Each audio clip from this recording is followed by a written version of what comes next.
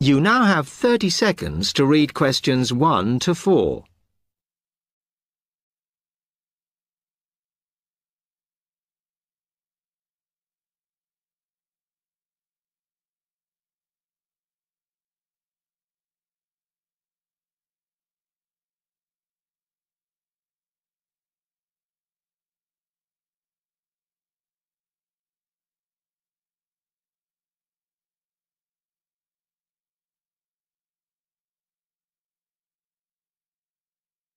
Hello, I'm interested in buying a DVD player.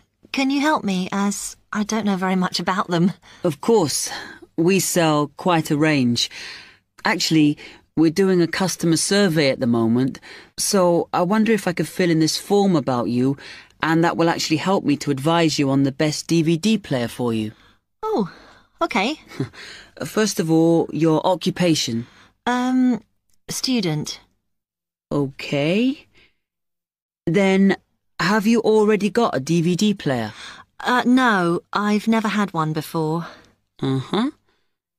And how much do you think you want to spend on a player? Mm, I'm not sure, really, but I have got a budget.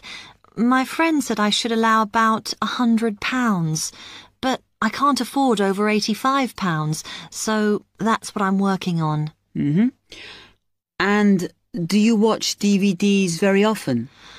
Um, depends what you mean by often. I don't know what the norm is. Is it about two a week? Uh, I suppose I watch three a month. That's enough for me. Yes. what sort of films do you like watching then? Action movies? Not really. Oh. My boyfriend always insists we watch science fiction movies, but I prefer thrillers.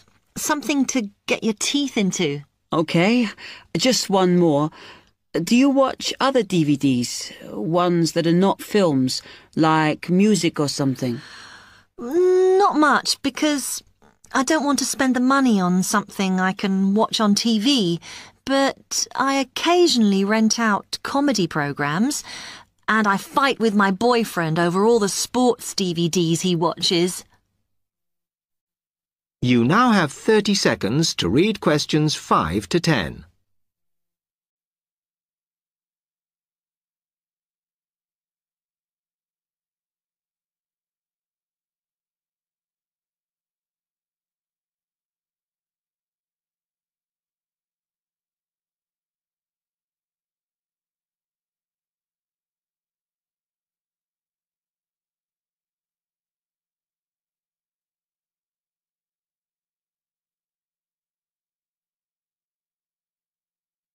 Okay, let me explain a bit to you about the DVD players that are in your price range. First, there's the DB30, which has only got basic features, but it is a bargain at £69. Now, all the DVDs come with an after sales service that starts when the guarantee runs out. As it's so cheap, the DB30 comes with a limited after sales service, as it only includes parts. You would have to pay for most of the repair. Mm, seems okay. Hmm. Then, a slight grade up from that is the XL643. This comes with an additional feature in that it has an extra button allowing you to record. That's quite useful. Oh, yes. That would mean spending less on DVDs to watch. Yes, so you'd make the extra money back on it that it costs. Hmm. Let me see how much it is. Uh, ah, yes. That one's actually reduced at the moment from £79 to £71.99. Oh. I think it's worth the extra myself. And is that the same level of after sales service as the other one? Well, you get a bit more for your money because what we're offering is a discount on labour. So you don't pay the full price if you have to call an engineer out. I see. Then the last one is this Tri-X 24. It's a very good player, and you can use it to listen to your CDs as well as watch DVDs. Hmm, it looks nice, but I bet it's expensive. No, it's not top of the range. Let's see. Yes, it's £94. But what you have to remember is that that includes insurance, so you don't have to pay extra for that. And it comes with a guarantee that's valid for three years, as opposed to the usual one. What do you think? Hmm, maybe.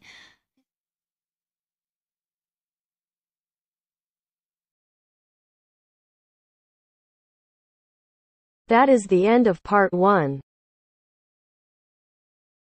You now have half a minute to check your answers.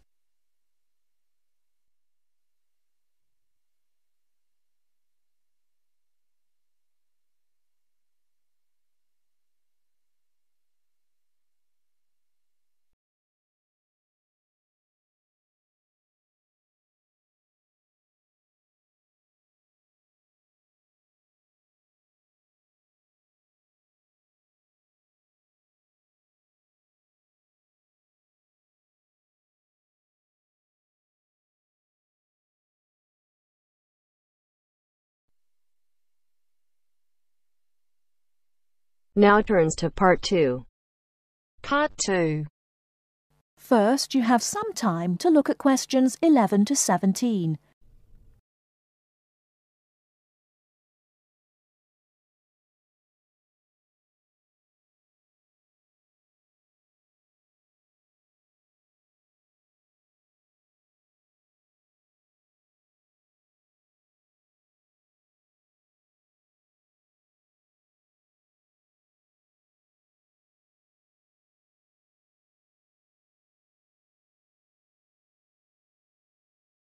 Now, listen carefully and answer questions 11 to 17. Hello, and thanks everyone for coming here today. I know it's always a bit stressful going for a job interview, but it's best to be prepared. For any of you who may not know me, my name is Fiona Ogilvy, and my job is to offer guidance and support for students with special needs. Now, you wouldn't be here today if you weren't interested in finding a job in the holidays. So let's get down to it and see what things you need to be looking out for. Most of you, I hope, will be applying for jobs with the companies that have been recommended by the university. The reason for this is that we here at the university already know these companies and have established good working relationships with them. I've also been to visit all of them and checked out the facilities they have to offer. You really need to make informed choices when you're looking for a job and make sure you know before you even get to the interview stage that your needs will be met. But I know that some of you are applying for jobs independently and have looked at companies outside the university recommended list. So for you, it's best to plan ahead and be aware of what it is you may need while you're working. Things that you need to check when you go for an interview are Are there enough toilet facilities and are these easily accessible? Also, you want to check that all the public areas inside the building are barrier free, so you can get direct access to these public spaces whenever you need to. And ask about ramps into the building so you know how many there are and where they are located. These kinds of things are so much more difficult to sort out when you've started work, as they take time. But ramps are an absolute must, so please make sure you know where they are. Another thing you must make sure of is that the lifts have the correct lowered control panels. Ask if all the lifts have this facility or if it's only certain ones. Now, something I think that is often overlooked is working hours. What you want to make sure of is that you get flexi time. This basically means that your working hours are flexible and you can clock on and clock off in times that suit you. Within reason, of course. Most companies do recognise that it takes much longer for someone in a wheelchair to get on and off buses and trains. Public transport can take that much longer, so you need to be organised and prepared. And for those of you lucky enough to own a car, check how many disability parking spaces are available. Remember that it's your right to have a disabled parking space.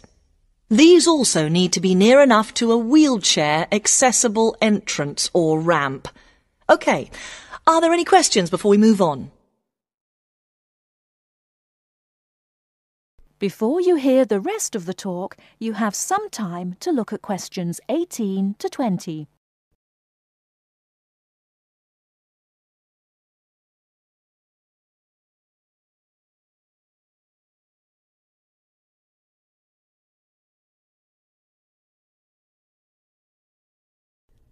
Now listen and answer questions 18 to 20. Right, let's move on then. Now I want to talk you through the series of visits to companies which we've got planned for next week. On Monday morning, we will be visiting the Lowland Hotel. They have various summer jobs available working as a receptionist or conference organizer in their busy conference centre, organising and setting up conferences. You need to be prepared for working in an office environment and spending quite a bit of time talking on the telephone. The bus leaves for the hotel at 9 a.m., so make sure you leave yourself plenty of time to get there. When you arrive at the hotel, please gather in the reception area and wait for someone to take you to your first session, which will be a talk. The talk at the hotel will begin at 10 a.m and then there will be a short tour of the hotel. There will be a light lunch provided, which is usually salads and sandwiches. The next place we'll be visiting will be on Tuesday afternoon. We'll be going to visit a little local company that makes handmade paper and cards. For those of you studying art, this may be just what you're looking for. We'll be taken on a tour of the company which lasts three hours.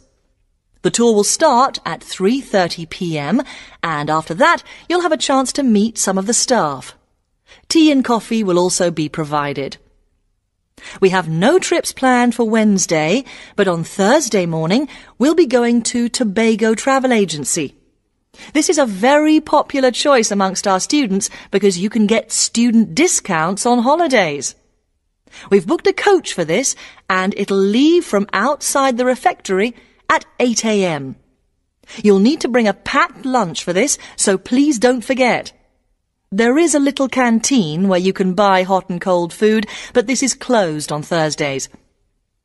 Friday, we'll be having representatives from all the companies visiting us, so you will have a chance to ask any questions, and of course, put your name down on the list if you're interested in working for them over the summer. This event will take place in the main hall next to the library, and it'll run from 10.30 until 4. I really hope you make the most of this excellent opportunity to not only earn yourself some extra money, but also to gain experience of what it's like to work. And if you'd like to find out more, then please ask some of the students who worked last year. They're all wearing green badges and will be happy to speak to you afterwards. That is the end of part two. You now have half a minute to check your answers.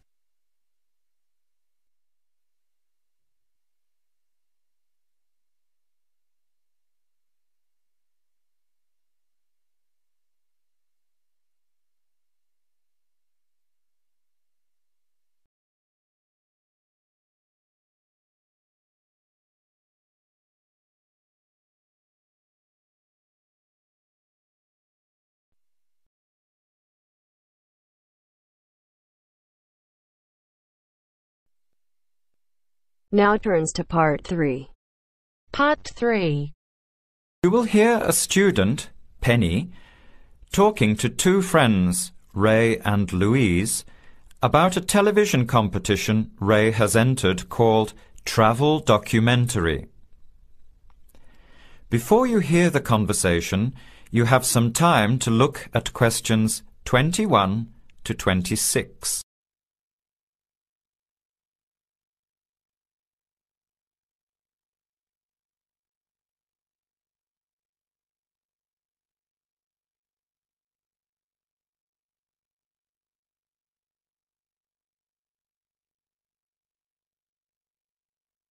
Now, listen carefully and answer questions 21 to 26.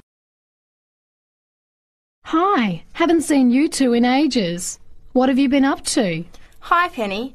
Ray is really excited. He's just been shortlisted for travel documentary. He could be off travelling around the world for three months. Travel documentary? What's that? You've never heard of it? Don't you watch TV? Well, actually, no, hardly ever. Especially since I've started working on my thesis. I don't have time to breathe, let alone watch TV. So what's this all about, Ray? Well, actually, it, it's a competition run by public TV. It involves my two great loves, travel and filmmaking.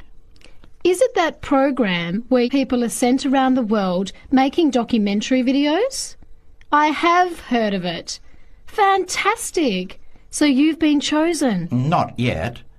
I'm one of 34 selected for an interview next week, so I've made it through the first cut. Yeah, there were over 200 applicants from around the country. Pretty amazing, hey? Well, I've been lucky so far. What's the next stage? 13 are chosen from the interview to do a four week training course in documentary filmmaking. Then, the eight finalists get sent off with a video camera to travel around the world.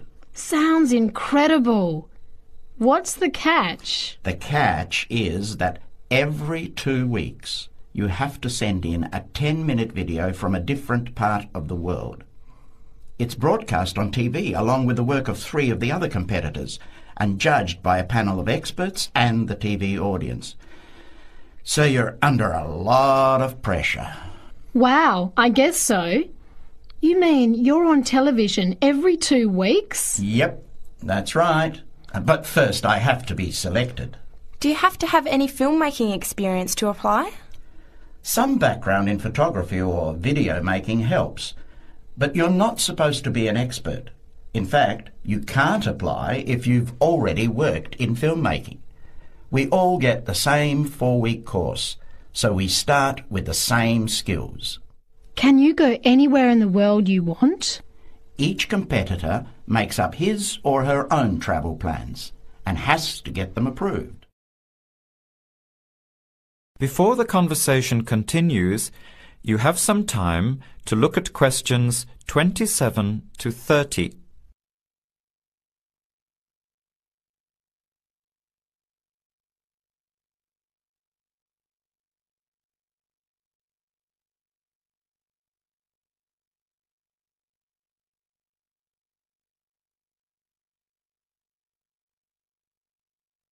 Now, as the conversation continues, answer questions 27 to 30. Have you talked with anyone else who has done it?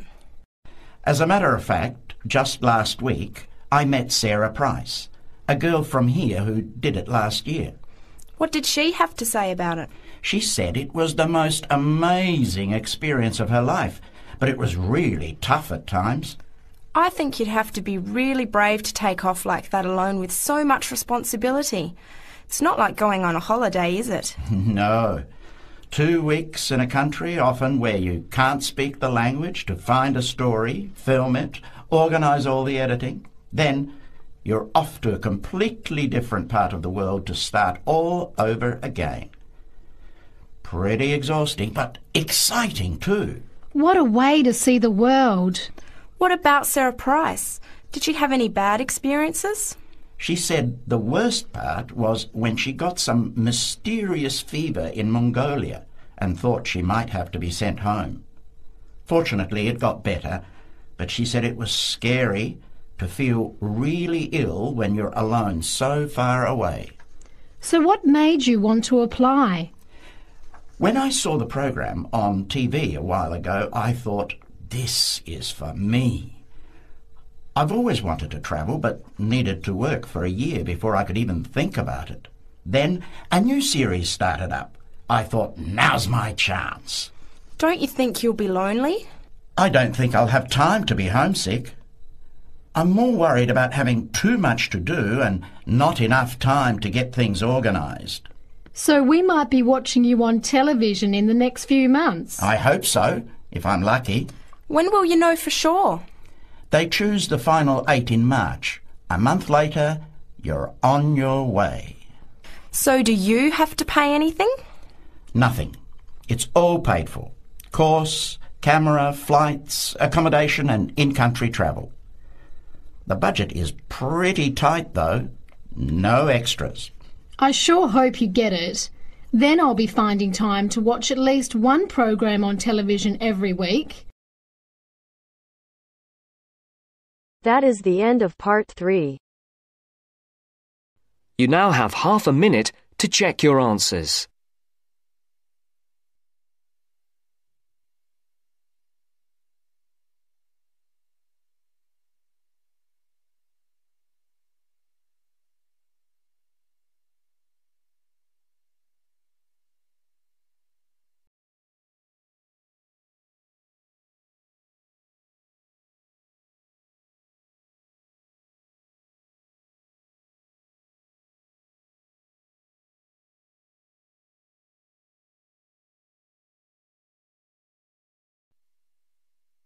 Now turns to part 4.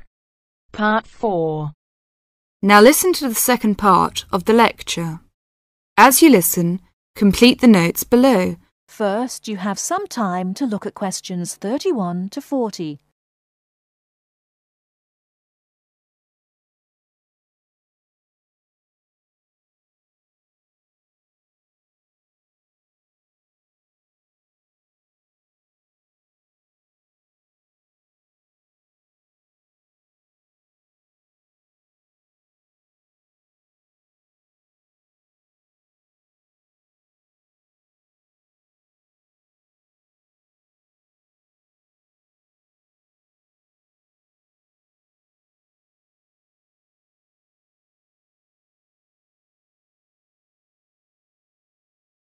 Now listen carefully and answer questions 31 to 40. Now let's turn to shopping, which may interest you more. In general, shops open at 9 o'clock in the morning and close at 5.30 in the afternoon. In country towns and quieter suburbs, smaller shops close for an hour at lunchtime, and once a week there tends to be an early closing day when most shops shut during the afternoon. Many cities have a late night once a week when shops stay open until approximately 8 o'clock in the evening. You should ensure that anything you bring into the country, such as travelling irons, heated rollers, hair dryers, and electric shavers, can be used on the standard British voltage, which is 240 volts, 58 Z. Many hotels will, on request, be able to supply adapters for electric shavers. When you travel, you may want to send postcards home. Stamps can be bought at post offices throughout Britain. They are open from 9 o'clock to 5.30 Monday to Friday and until 12.30 on Saturday. Stamps can also be bought at postal centre stamp dispensers, at large stores and major tourist attractions. For posting letters, you don't have to go far before finding a red painted letterbox. Alternatively, use the letterboxes at post offices. You may ask how much to tip in hotels and how much it is for a taxi. There are no fixed rules on tariffs about this, and the following is intended only as a guide to customary practice. Most hotel bills include a service charge, usually 10 to 12%, but in some larger hotels, 15%. Where a service charge is not included, it is customary to divide 10 to 15% of the bill among the staff who have given good service. In restaurants, if a service charge is not included in the bill, then 10 to 15% is usually left for the waiter. For porters, we usually give 30p to 50p per suitcase. For taxis, 10 to 15% of the fare. Hairdressers £2 according to how much work they have done, plus 50p to the assistant who washed your hair. If you drive in Britain, you should remember to drive on the left and overtake on the right. The wearing of seatbelts is compulsory for the driver and front seat passengers. Now let's talk about full details of Britain's road regulations. A copy of the Highway Code can be obtained from offices of the Automobile Association, AA, or Royal Automobile Club, RAC, at most ports of entry. These two motoring organisations can also provide plenty of helpful information to all motorists. Contact AA. Telephone is 01 854 7373 24 hour service. RAC telephone is 0304 204 256 24 hour service. For something more serious, telephone operators will give you the telephone number and address of a local doctor's surgery. Alternatively, you can go to the casualty department of any general hospital or, in the case of severe emergency, dial 999. 999 is free. Remember, unless you belong to a European community country or one with which the UK has reciprocal health arrangements, you will be charged for the full cost of medical treatment in Britain, except in the case of accidents or emergencies requiring outpatients treatments only. It would therefore be wise to take out full medical insurance before leaving home. That is the end of part 4. You now have half a minute to check your answers.